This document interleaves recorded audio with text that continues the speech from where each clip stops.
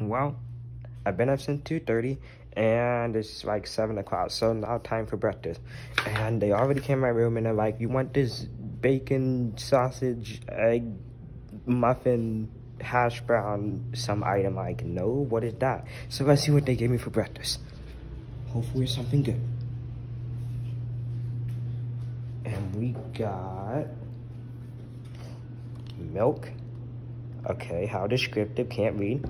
And they gave me the, the cheese thing anyway, even though after I said no, whatever. And then what else do we have here?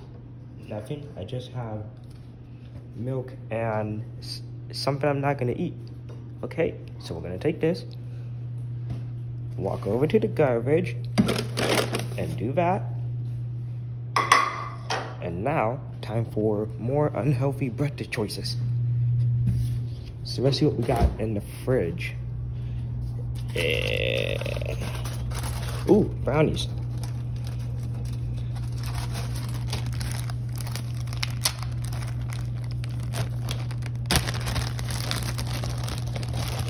That one. Looks like I'm having this brownie for breakfast. Uh, come on, school, do better. At least make something advertising.